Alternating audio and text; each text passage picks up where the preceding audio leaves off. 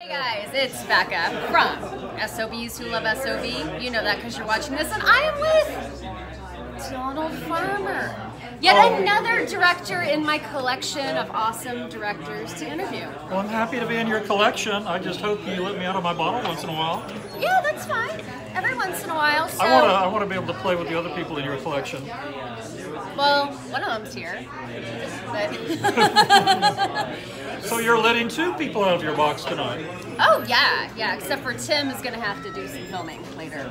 Oh, So. Well, you. Because that's the that's the other deal is that I get them in my collection and then they put me in their movies. Well, Tim owes you big for how he tried to kill your sister. That's right. it's the big rumor here at Peter's Barbecue. We are at the Rocky Top Horror Show, which is a show that you created, correct? Yeah, me and Corey Jordan, and it's here in Manchester, Tennessee, which is uh, sort of known as a concert town. This is the town where Bonnaroo happens. And we have the famous cave here that has all the 60s retro concerts. But we're trying to change the image of this town from a music town to a horror town. So, what what gave you the idea to do this? Well, I did a horror convention about 15 years ago, and I did that uh, in a town 80 miles from here in Cookeville, Tennessee. And I did one, and um, I never had done one before because the big thing with horror conventions is you need guests. And it's uh, for my first horror convention, I had some so-so guests. Uh, we had Jonathan Thornton, who did the makeup effects for Herschell Gordon Lewis's Blood Feast 2 and uh, we had a few other people. But really, the reason I decided to do this one after so many years was because the horror conventions that are operating now that are really great in this area, like the Full Moon Con in Nashville and Fanboy in Knoxville, they're getting really huge major guests. Like Fanboy has Christina Ricci, Right. and uh, the other one in Nashville's had Malcolm McDowell and uh, George Romero, you know, giant people. Right. And uh, I thought, how about a convention that's focused more on the SOV crowd, the shot on video crowd? Movies that don't play in theaters necessarily, but that people like to order and collect on video or go on streaming for. So this is more of a convention for that crowd. People that are making movies that you're not necessarily going to see in a theater outside the film festival circuit. Yeah. But um, like I've been doing this for 30 years and I've got movies that are mainly made for video stores. And nowadays my movies are made for video stores and streaming Streaming. the market has expanded, but uh, you know, people like uh, Hugh Gallagher over here, who's Yes. directed uh, movies like Veronica, and he produced Jess Franco's classic Tender Flesh, or Tim Ritter, who's made the classic Truth or Dare and Creep and Killing Spree and more classics. You know, our movies aren't playing in multiplexes, but that's fine because they're very low budget movies, and we do have our audience, and this convention is for that audience. Right, and the people who are watching this now, who are watching something on a show called SOBs Who Love SOB. That's right. but we also have some newer filmmakers. We also have uh, Corey Jordan, who we already talked about, who did a movie called Chicken's Blood that this guy's in. Yeah, I'm in Corey's first movie, Chicken's Blood, which turned out great, and I'm really happy I, to be I in. bought a copy of it. I'll have to do a review. And then we also have Katie Groshong and Jeff Wedding, which, if you guys have listened to me at all in the last few weeks, you know I love their film Tennessee Gothic, which is a brand new movie. So it's almost like the the classics. There's a lot of film the new- activity going on in Tennessee, and there has been for several years. I mean, over the years, I've Whether worked, you know it or not. I've worked with many Tennessee producers. I mean, one of the most legendary ones was uh, starting in '88 and in the early '90s. I worked a lot with Richard Martin, who was a local multimillionaire real estate developer, and he was pumping, he was making local indie 35 millimeter movies with huge 30 person crews, and I worked on his uh, two and only two movies, and these movies, uh, you know, had uh, the first one had a $350,000 budget, which is bigger than the budget of all of my movies put together. and then the second one, we had really interesting casting. Like his first movie had Camille Keaton from I Spit on Your Grave. His second movie had legendary actor Jim Van Bebber and David Bowie's wife, Angela Bowie.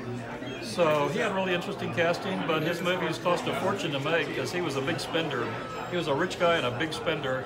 And so it's sad that he's no longer around because it was fun to have somebody local making indie movies, but with such a big budget. Right, inflated indie movies.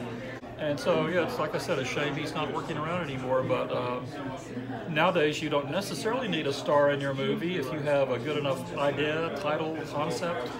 Like I did not have any stars at all in my movie Shark Exorcist, but that managed to have the best distribution of any of my movies in quite a while. Which is a fabulous film. Because it has a title that grabs you. If you Well, have a title right. that grabs people, Right. Yeah. yeah, so it's about the concept. But uh, sometimes it's nice to have a star, but you know, stars, uh, you have to figure out how much you're paying and are they going to deliver in extra sales to make up for what you're paying Right. them? Are they going to make their money, your investment back? Right. And uh, of all the stars I've ever hired, Brigitte Nielsen is my favorite in terms of making our investment back. She, what we paid her, we made it back many, many fold. All right. It, We licensed that movie to 30 countries, and a lot of them Wow. told us we're buying your movie sight unseen because we buy any movie with Brigitte Bridget Nielsen. Nielsen. Yep. Now she's more. Now she's on the talk every day and more popular than ever. I probably couldn't afford her Wow. now. No, probably not. Yeah, because she's got an American crowd now. Now that she's now she's back on TV every Yeah. week, I'm sure I couldn't afford her now. I, Yeah. got- I got her at the right time when I could afford her. So what are you working on right now? Well, right now I'm uh, in the final stages of post production on Cannibal Hookers, my remake, my reboot of my second movie, Cannibal Hookers. Okay, so reboot. Uh-huh. So what makes it different from a remake? Well, reboot just sounds nicer. Oh. But okay. it is. It's the all new Cannibal Hookers. Okay. Same title, but all new story, all new characters. Okay, well that's a reboot. same- That's a reboot. Same situation, Okay. but it's the same situation. We're dealing with hookers that like to eat their johns. And um, that one's almost finished. My editor just sent me the rough cut two days ago, literally, and I made I sent him notes, final editing notes, and as soon as he incorporates my final editing notes and adds some music where I told him to add music, then we'll be all finished. Awesome. And then my next movie, which we've already started on, is Bigfoot Exorcist. We've already shot two sequences for that, and most of the shooting of that, will, hard and heavy shooting, will be done in March and April. All right. And then, as I said, is it a spiritual successor to Shark Exorcist? Well, it's a continued adventure, so people of the cloth that find it called upon themselves Right. to exorcise weird creatures. Right. Like, like I said, like Vampire Cop and Cannibal Cop, not related at all. Uh, Just about a cop who Yeah. happens to be a different creature. The big thing I really wanted, I really wanted for uh, Bigfoot Exorcist was uh, Shark Exorcist was a priest, and for this one I knew it had to be a nun because I've, I've never made a nun exploitation movie, and I didn't want to get into. Uh, uh, there's typical film genres that I like to tackle, if, if only. Sort of from the side, like I never made an all-out biker movie, but I did make a movie, Demolition Highway, that had a lot of bikers in it and it had biker sequences. So that's sort of my biker movie that I always wanted to make. And then I made a martial arts movie, so I've done that genre. And I always wanted to make a nunsploitation movie, so Bigfoot Exorcist will, in a way, be my nunsploitation movie. Sounds like it. So who's your nun? Well, our nun is going to be the co-star of Hooker with a Hacksaw, Colleen Eckert from Kentucky.